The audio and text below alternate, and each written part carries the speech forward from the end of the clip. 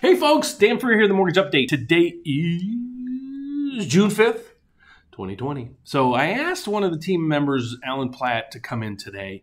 And this is our first live YouTube Live. So we're going to start doing this every Friday. And the whole gist of it is to educate you guys out there uh, looking to buy a house or get refinance a home and just make, you know, be a good financial steward of your money. And the biggest misconception right now, and we're going to address that today, is how much money you need to buy a house. And there's it's a huge misconception when we talk to a lot of people. They're like, you know, I need 20% down. No, you don't. You know, I need this, I need that. So uh, that's what we're going to talk about today. So that getting started, it's a great time. Like we're just we're the pandemic's kind of starting to to ease. I've had several calls this week, even people that I've pre-approved that are looking to buy houses. They're like, "Oh my god, a ton of houses just came on the market." Yeah, I'm seeing it in my neighborhood too. It's it's going to be hot. yeah. Summer. So I, I mean, usually the market opens up. And it's weird. It's like Super Bowl Sunday hits, and then Monday the phones start ringing. Uh, but now there's a delay because of the pandemic, and now you know a lot of other events that are taking place. But um, so when you have, I, I, mean, you've been doing this a long time. You have mm-hmm. a client that calls, and you know, I always, you know, what's your? I, I, I, hate this word. What's your pitch when they're calling you? Saying they're like, "Hey, Alan, I'm looking to get pre-approved for a house." You know, you, you're the, you're the advisor. What do you what do you think I should do? How to do it? Why? When? Where? What? And how? Yeah, I mean, uh, when you when you're buying a house, the, the, there's really three things that a bank, a lender will look at credit, income, and down payment. And a lot of people think that, well, you know, I, I don't have 20% down or, you know, I don't have a big down payment, so I'm probably not going to get approved or right. they're really stressing out about it. But there's a lot of programs where you really only need 3% down. Yeah. And with the rates being as low as they are, I usually advise people, you know, save the money, put little down, and you're financing at a low rate that you know it's going to be better than lower than um, your re- return if you keep the money in the bank. I had a I had a client yesterday, and he's uh he's out in California, and he's like, yeah, I pulled his credit, and I'm like, your credit scores are are kind of low. Uh, they're good enough to qualify, but they're kind of low because you have a ton of debt. He's like, well, I got a bunch of money in the bank, I can pay it all down and I, you know, he said I was gonna look, I was looking to put down a you know fairly sizable down payment, but he had probably fifty thousand dollars in credit card debt, and he owns his own business, and he's like, I got the money set aside. So my comeback was, is you know, I, I wouldn't use all my deplete all my money to put in the home, mm-hmm. and I'm not trying to drive up his mortgage balance, but you're going to get a rate, say in the three or four percent range your credit card debt is probably 12 to 25%. Right. What, what should you prepay? The 20% interest rate or the 3% interest rate? I mean, that's pretty simple. Yeah. Um, another thing is the difference in the payment between a 20% down payment and like three or five right. is not that noticeable. Right. It, it, it's amazing how much, you know, somebody will say, okay, if I put another 2,500 bucks down, what's that do to my payment? Changes about like $5. Yeah. And they're like, Really? Yeah. So keep that money because when you get in the house, you're probably going to paint, buy, buy towels, buy yeah appliances, buy curtains. Um, and it goes. My son just bought a house, and he gets in there, and you know, I, I said, you know, you want my my uh, lawnmower and this and that, and he's like, no, no, no. He's in the house for a month now. He's, hey, you still have that lawnmower? you still, it, the, you know, the stuff adds up oh, fast. Oh, absolutely. So the gist of the show, let's talk about. We're going to talk about some programs and getting you into uh, a home with the least amount of money down. So the programs, you know, believe it or not, throughout the country, and we we we're dealing with about 44 states right now, is we're getting some US. I think you have a couple USDA loans. Yeah, yeah, you do have some USDA loans. The let's go down that path real quick. USDA. Now, who qualifies and how do they figure out if they qualify? Yeah, so USDA is uh, United States Department of Agricultural, and they have a program, rural development. So you can there's a tool online that you can go to to plug in an address and it'll tell you if your home or the home you want to buy is what's called a rural area. Yeah. And you know what everyone thinks of rural is probably not what the government thinks of. Rural. I always thought I mean, it was a farm. Yeah. Or I had to buy a farm. It's like there's plenty of areas yeah. that qualify that are for all intensive purposes urban. So, I did a condo yeah, in a rural in a. USDA, yeah, and I was like, huh? yeah. And So they fit. yeah they want to kind of stimulate the um, population in those areas and incentivize people to purchase there. So they allow no money down. So it's 100% 100 percent financing. So in that case, zero down. Right. Uh, the next lowest down payment program, Well, there's a conventional, um, which everyone's heard of, Fannie Mae, Freddie Mac. They'll allow three percent down. yeah, Three percent down is a great option. And the, the, stipulations behind that is you have to be a first time home buyer. and that's anyone who hasn't bought in the last three years or been on title to a home. Correct. Yeah. Yep. So that's 3% down. So, and then the next step is um, FHA. Oh, we forgot something VA. If you're a veteran out there, that's the way to go. Yep. If you're buying a house uh, and you're a veteran, please make sure you explore um, the VA program. It, you've earned it. Thank you for doing what you did.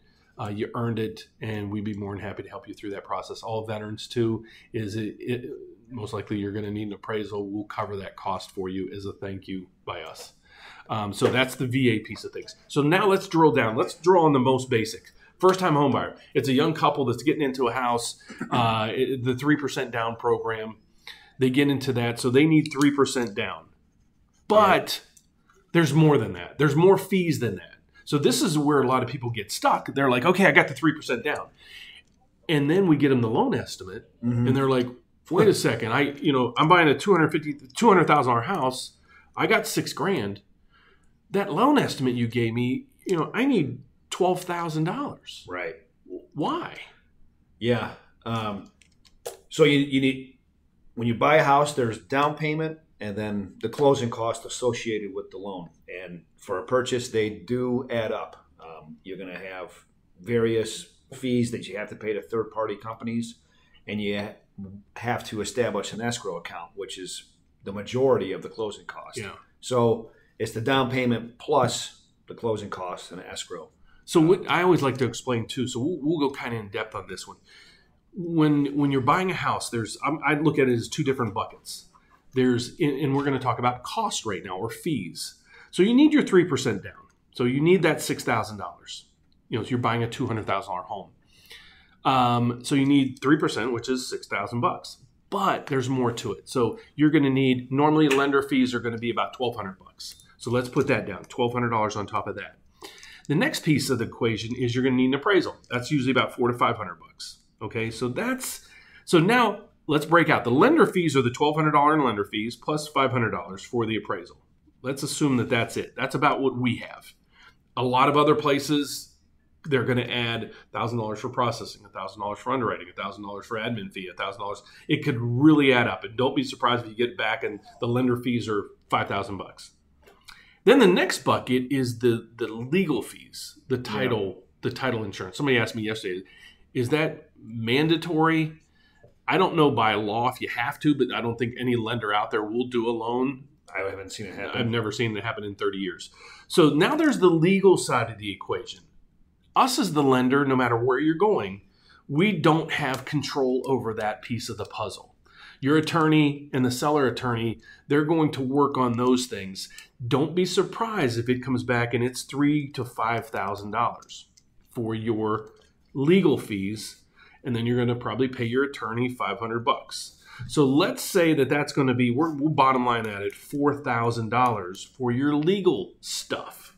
Okay, so we got twelve hundred dollars and five hundred dollars for your lender costs. So that's seventeen hundred plus four thousand in legal bills. So we're at fifty seven hundred dollars on top of the six thousand dollars you needed as the down payment. So that's why our loan estimate or our our numbers back to you guys came back and you you thought you needed six grand, but you need twelve thousand. So Alan's job now is to say, okay, we get you pre-approved. Now his job is to educate you guys to let's dwindle that down because we know, let's say in your case, you only have the six thousand dollars and, and you don't have the twelve. So you're thinking, I can't buy a house now. yeah. Well, you can. And in comes Alan.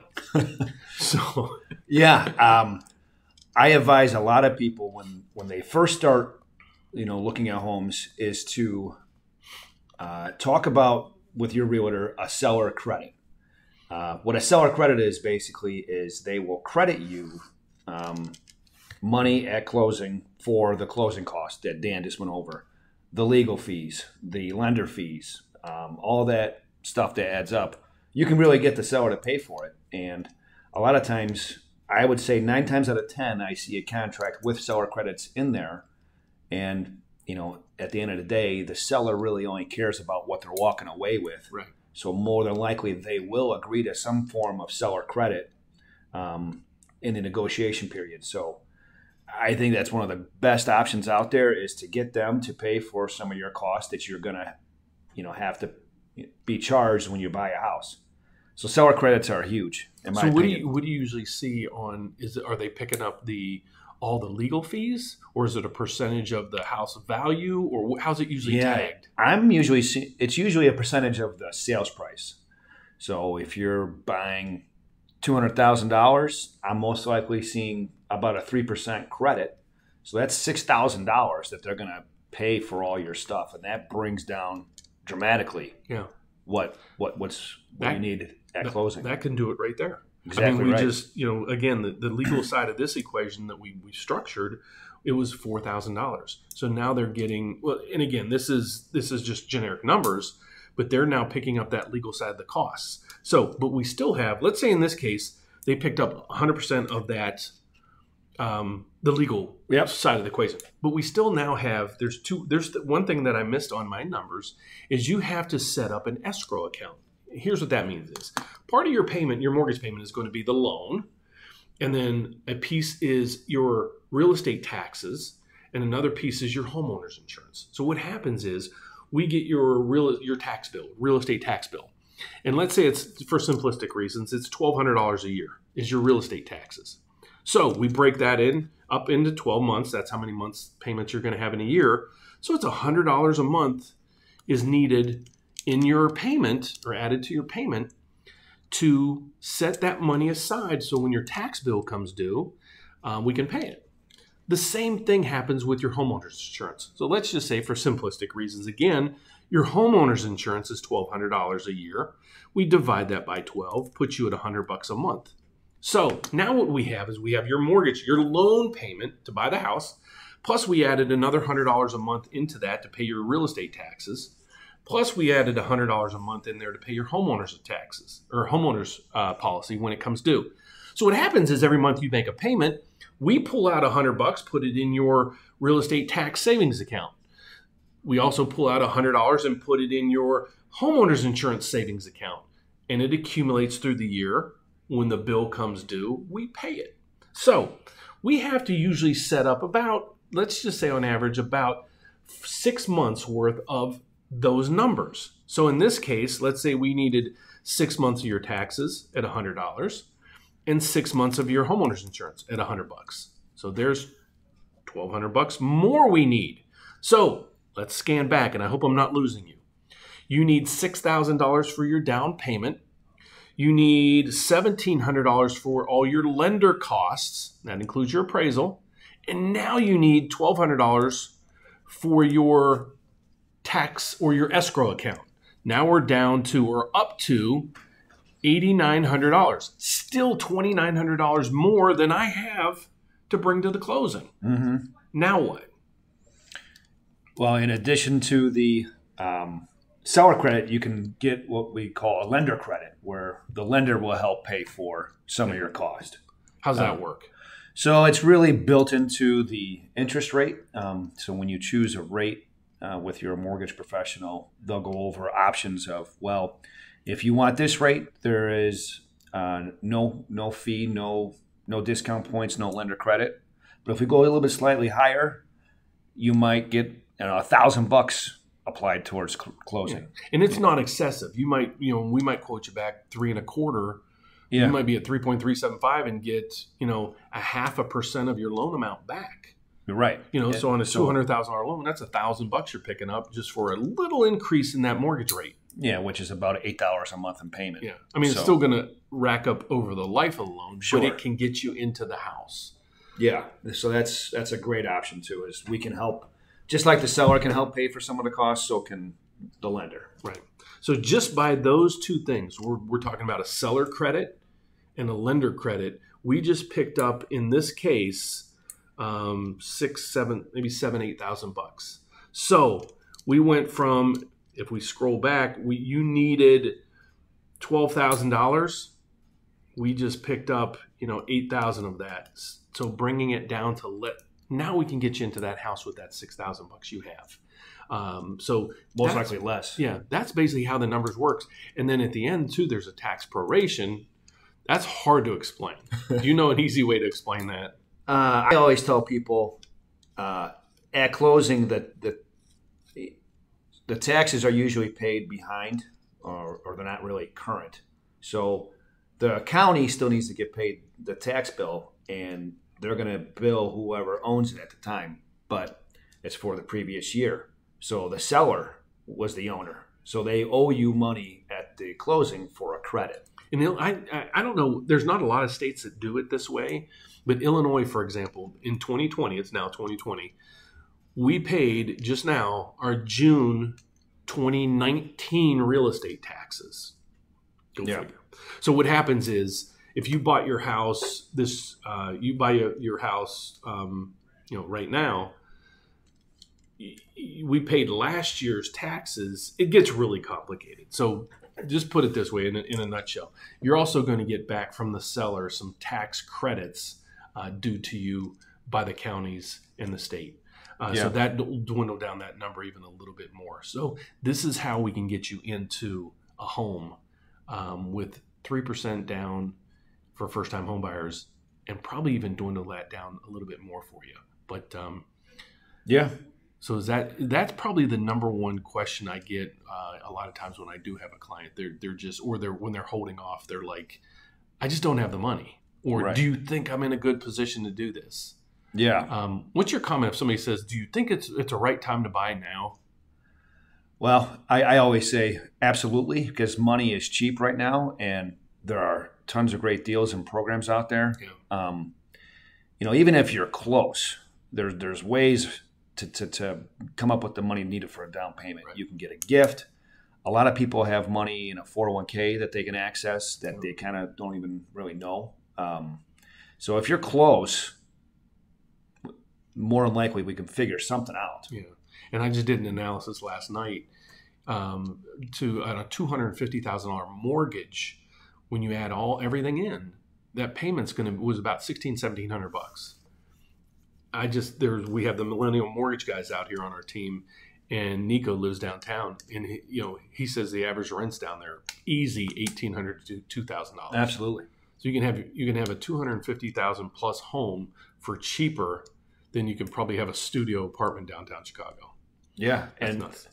and then most rental places need one month security deposit and maybe Yeah. sometimes two months. Right. So that's close to the down payment. And that's what some people don't realize too. You might have some money coming back uh, from a security deposit that you had. So the whole gist of the show was we were trying to make it to show you or educate you or go through the numbers on how we can get you a house into a home with not 20%, not 10%, not 5, not 3, but under 3% as a first-time home home buyer. So, I hope you liked the show. If you did, please reach out to us. Down below, I'm going to try to put a link into USDA, how you can apply online, how you can reach us. Please leave some comments. Um, Alan, if you would give us give them the website, phone number, and then we'll be done.